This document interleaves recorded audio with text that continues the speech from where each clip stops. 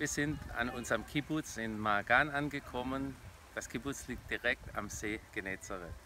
Heute Morgen sind wir losgefahren, hatten einen wunderbaren Gottesdienst in Gadara, da wo die Schweine ins Meer gelaufen sind. Wir sind dann hochgefahren auf die Golanhöhe und hatten dort das Thema, äh, wie Saulus zu Paulus wurde, auf dem Weg nach Damaskus direkt an der syrischen Grenze und es war wirklich Gegenwart Gottes da. Ja, und der Saulus, der hatte eine Begegnung mit Jesus und eine Offenbarung, die wirklich sein Leben verändert hat. Und solche Offenbarungen brauchen auch wir in unserem Leben. Offenbarungen aus dem Wort Gottes, die unser Leben verändern. Und das ist wunderbar, dass wir das auch hier erleben dürfen. Hier in Israel, wo Jesus gewandelt ist und wo wir mit, mit dem Wort Gottes unterwegs sind.